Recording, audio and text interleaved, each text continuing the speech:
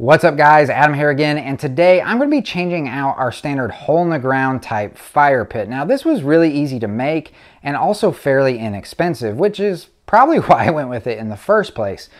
But like most fire pits, it smokes like crazy. So people are having to sit on one side of it or having to move around it depending on which way the wind is blowing just to avoid that excess smoke. On top of that, we also have an infant. So out of an abundance of caution, we really have had to cut down on having any fires at all. And so many months ago, I started researching and thinking about how I could make or find a more smokeless fire pit. I continued looking and I found these standalone, almost insert looking type smokeless fire pits. And in my opinion, they're a little bit small and they're a little bit pricey. But in the reviews, people were just raving about how well they worked. So I was looking into how they work and thinking to myself, how can I take the technology or the science behind this smokeless fire pit that so many people say works so well and turn it into a larger, more conventional looking fire pit that we like. And so I think that this is going to turn out pretty well, but we won't find out until we get it done. So let's go ahead and jump right in and see what we come up with. Let's go. Now, one of the most important items that's going to be needed is a fire ring. And this particular fire ring I got online, and I'll have a link down in the description down below where you can check one out for yourself. But this one came in four pieces and it gets bolted together using eight bolts and it goes together very fast.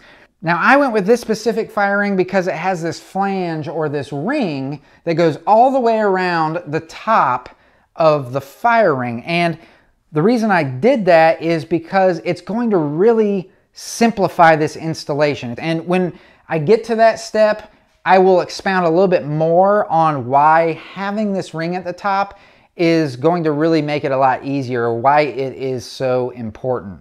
So now I've got the old fire pit completely filled in. I've got my stones down nice and level, and now I can start laying the lowest level of the stones that are gonna be stacked around the outside of this fire pit.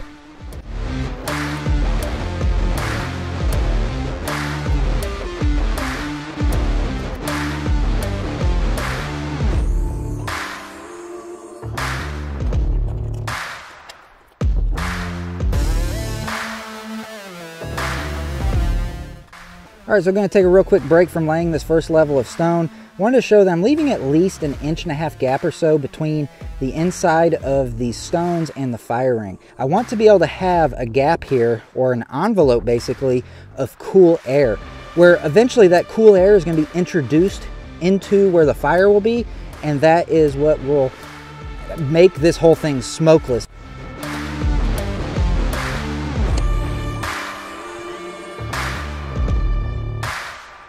All right, so you know how I said earlier that I needed to introduce air into that little pocket that I was making in between the stone and the fire ring?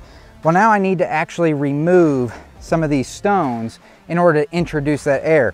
And I'm gonna take them out and I'm gonna actually break them in half so that it's gonna allow for air to come in, but also still allow for there to be support for the second rows.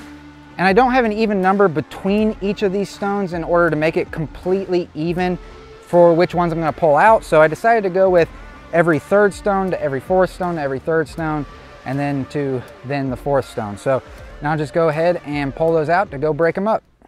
So the good news is since I have four holes to fill at the bottom of that first row and I only need to fill them with halves, I only have to break up two of these stones. So less work and more stones left over. Now I've found personally for me that the best way to break these in half is by just using my hand. Now I've been training for many, many years. So if you have not trained, then I would not advise doing this at home. But I found for me personally that this is the quickest and most efficient way to break these in half. So let's go ahead and get ready for this.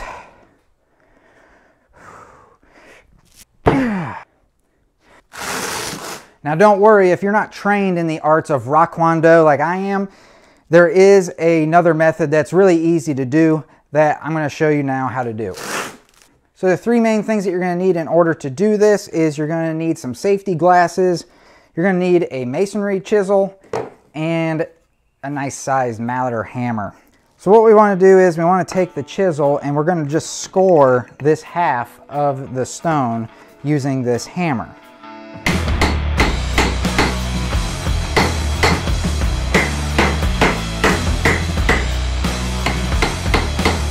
What this is going to do is it's going to promote a nice even break when we finally get that chisel going on the other side and it breaks through. So we'll flip it over and now we'll take the chisel and doing the same thing, but we're not gonna stop until this rock breaks in half.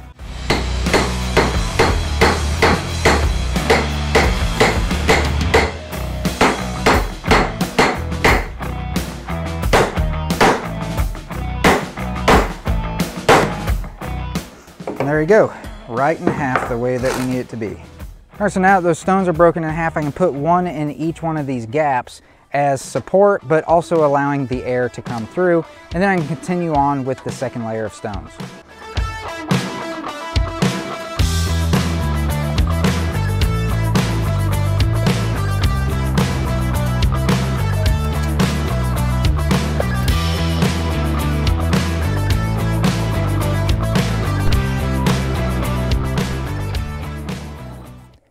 So I could have done this step a little bit earlier, but now it's fine as well.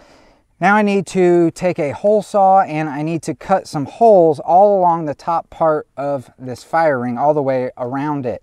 And just to give an idea on how this is gonna work now, we've got our stones where we broke them in half and have holes in the bottom that's allowing that cooler air in. We've got our cavity or envelope between the stones and the fire ring where that cooler air can set and as that cooler air sits there, it will be warmed by the fire, which will cause it to rise, and it will enter into the fire through the holes that we are about to cut. This will supply the fire with nice warm oxygenated air, which will cause a secondary combustion to help burn off that excess smoke. Now, I talked a little bit earlier about this specific fire ring and why I went with it. This flange going all the way around, it's covering that cavity where that cooler air is going to be sitting. So if it was open, instead of having this on top, you'd have to set something on top of it in order to keep that cavity closed to then feed the cooler air in through the holes that we're about to cut. So let's go ahead and cut those holes in.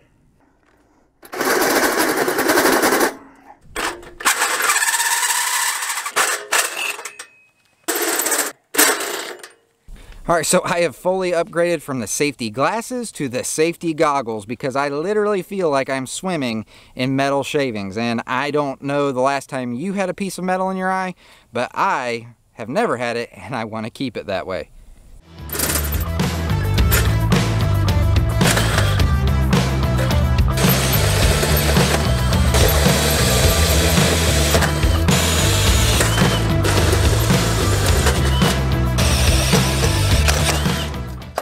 All right guys, so now I've got all of the holes cut.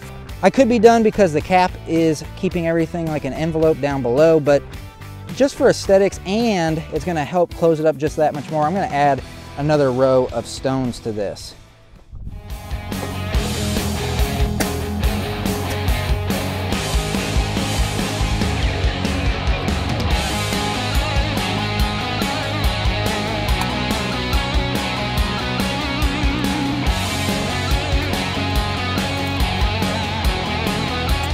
If you would want a bigger stone on the top there, they do make bigger capstones that you can put on there, but I think this looks pretty dang good for using pretty much just stuff that I already had. But now the real question that everybody's wondering is, does it work? And the answer is, yes, it does work. Holy smokes. Or I should say, holy smokeless. That is amazing. I should have done this a long time ago. That's awesome.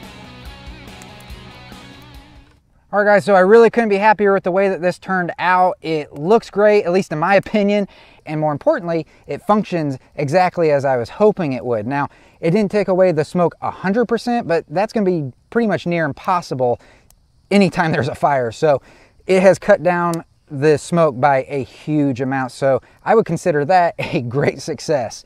I hope that you found this video to be interesting. If you did, please let me know by leaving a comment down in the comment section and also giving the video a thumbs up. And if you like videos like I did here today, then consider hitting that red subscribe button. And I look forward to seeing you in the next one.